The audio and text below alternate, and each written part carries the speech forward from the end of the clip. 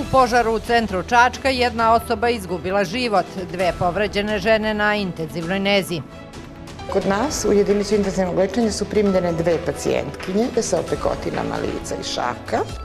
Do kraja ove godine očekuje se završetak radova na rekonstrukciji mosta na reci Kamenici. Prošle godine dva mosta su ovde na reci Kamenici stradala, jedan upravo završavamo sa betoniranjem e, ploče. Gradonačelnik Čačka obišao danas 11 mesnih zajednica i razgovarao sa građanima o radovima koji se tamo izvode.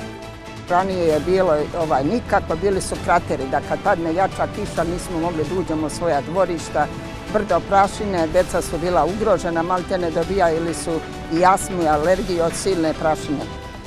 U Čajetini predstavljeni programi učeničkih parlamenta osnovnih i srednjih škola.